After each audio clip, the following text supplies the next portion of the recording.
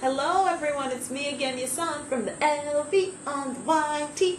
How are you guys doing? Thank you for reading our blogs and keeping up with our videos. So why don't we get started? Today's Shanayaka na Ego video is Sowa Sowa Suru.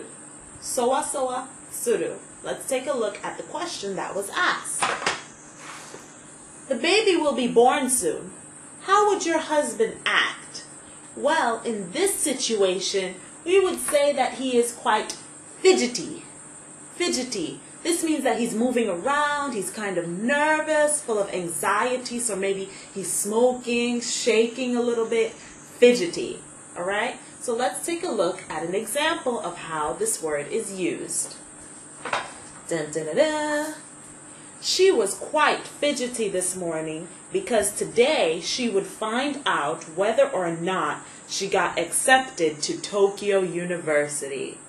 Thank you, everyone. Have a great week.